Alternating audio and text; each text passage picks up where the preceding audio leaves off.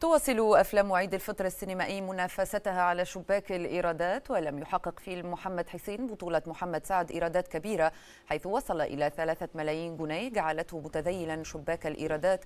بينما حقق منافسه الفيلم الكوميدي سبع البرومبا للفنان رامز جلال 20 مليون جنيه.